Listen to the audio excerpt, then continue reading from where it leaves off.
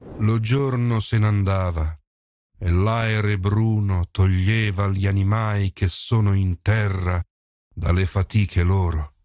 E io solo uno m'apparecchiava a sostener la guerra, sì del cammino e sì della pietate, che ritrarrà la mente che non erra.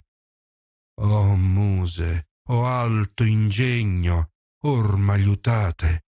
O mente che scrivesti ciò ch'io vidi, qui si parrà la tua nobilitate.